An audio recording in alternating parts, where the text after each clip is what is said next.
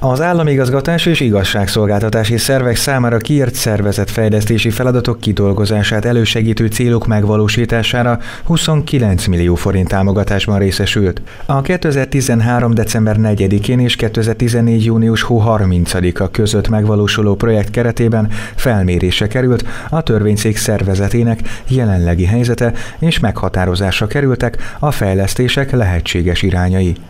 A program kidolgozásában a Miskolci törvényszék területén szolgáltat teljesítő 24 bíróból, valamint igazságügyi alkalmazottból álló 6 munkacsoport vett részt egy külső szakértő bevonásával. A munkát három fős projekt irányító bizottság felügyelte. Eddig elsősorban a gazdasági társaságoknál alkalmazott módszerek az igazságszolgáltatása történő alkalmazása hasznosnak bizonyult a pályázat megvalósításában korábbi, korábbi közgondolkodás valóban azt úgy ítélte meg, hogy a gazdaságosság, költséghatékonyság, racionalitás az csak a gazdálkodó szervezetek vagy a piaci szféra sajátja kell, hogy legyen. Ez nem így van. A közigazgatás, az igazságszolgáltatás, mint hogy a nevében is hordozza, bizonyos értelemben szolgáltatás, tehát igenis van annak jelentősége, hogy milyen hatékonysággal, milyen időtartamban, milyen költség költséggel intézik el a bíróság azokat az ügyeket, amelyeket e, eléjük hoznak a polgárok.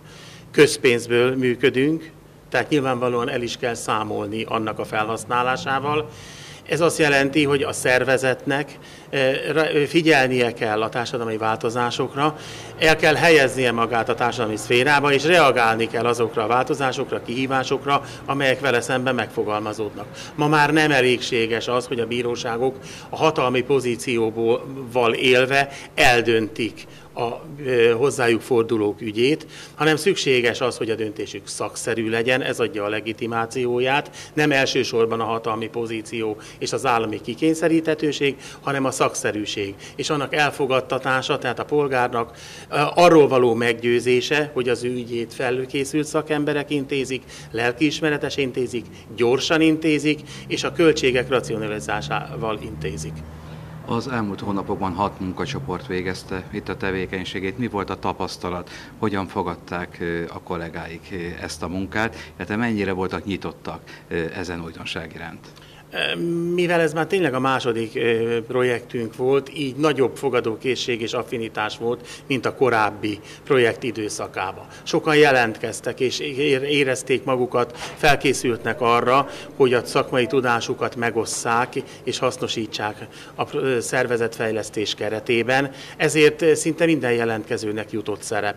Valamilyen területen hozzá tudta tenni a tudását, tapasztalatát, illetőleg a összegyűjtött adatok adatokat tudotta elemezni, és abból következtetéseket tudott levonni. Ez két irányú. Egyrészt a szervezet fejlesztése a korábbi stratégiánk alapján folytatódik. A korábbi projektben meghatároztuk a Miskolci Törvényszék középtávú stratégiáját. Azt, hogy öt év múlva, öt év alatt milyenné szeretnénk válni, milyen legyen a törvényszék és bíróságainak működése.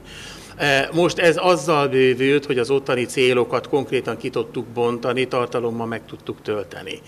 A tanácskozáson a Nemzeti Fejlesztési Ügynökség megbízásából kidolgozott módszertanok felhasználásával összegzett tapasztalatokat a munkacsoportok vezetői ismertették. Vasné Bodnár Zsuzsanna a célok között említette a szervezet hatékonyabb működésének elősegítését és az iktatási rendszernek a modernizálását, az elektronikus adatküldés és fogadás szélesebb körben történő alkalmazását, az ehhez szükséges informatikai fejlesztést és az ügyintézés egyszerűsítését. Újabb orsolya szólt arról, hogy a teljesítménymenedzsment a magasfokú ítélkezési tevékenység erősítését, az ehhez szükséges tárgyi és személyi feltételek biztosítását, az ügyfélforgalom csökkentését szolgálhatja.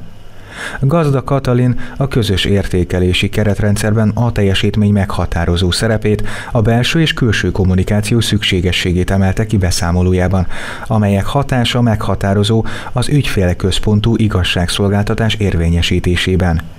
Répási Árpád előadásában fontosnak nevezte a tényleges tudástárak és adatbázisok létrehozását, ezek folyamatos használatát, az elérésükhöz szükséges informatikai eszközök beszerzését. Demjén Péter ismertetőjében kiemelte a szervezeten belüli változások befogadásához elengedhetetlen a munkatársak felkészítése. Az előadó megjegyezte, hogy a Miskolci törvényszéket a szerepkultúra jellemzi, amit a szakirodalom bürokratikus kultúraként jellemez, amelyben az alkalmazottak jól ismerik a feladataikat. Tománé Szabó Rita a Nyitott Bíróság programot és az ügyfél elégedettség területén végzett tevékenységet értékelve kitért arra, hogy az osztályfőnöki órák, a per szimulációs versenyek és az érdeklődők tárgyalásokon történő részvétele szélesítette a résztvevők körét, a társszervekkel történő kapcsolattartás pedig kiteljesedett. Tóth András, a projekt külső szakmai tanácsadója kiemelte, hogy a pályázat megvalósítása során feltárásra kerültek a veszteségek, ezek csökkentésének a módja. Ebben meghatározó a belső erőforrások átcsoportosítása, a munkamegosztások áttekintése, ami hozzájárul a Miskolci törvényszék működésének hatékonyságának a növeléséhez.